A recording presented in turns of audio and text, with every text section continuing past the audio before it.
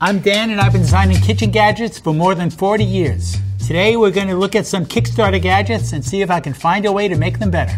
Final press. This gadget claims to quickly brew a single cup of coffee or tea. Let's see how it works. So I've got some hibiscus tea. I'm going to disassemble the FinalPress.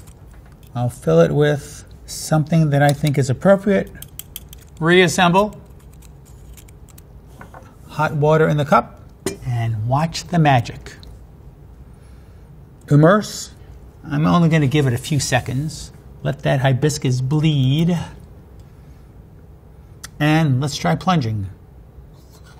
As I pressed, I could see it getting darker.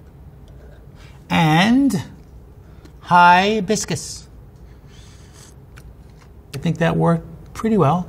But does it beat out a more traditional infuser? Let's find out.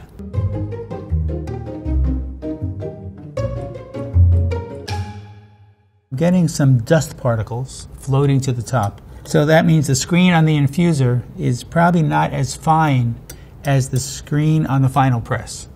Aside from the dust particles up top, it looks like hibiscus.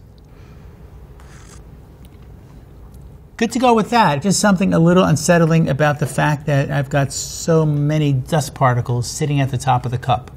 Let's give the FinalPress a rating for effectiveness. I would say it's effective, and why wouldn't it be? Because it is tea inside a perforated piece of metal.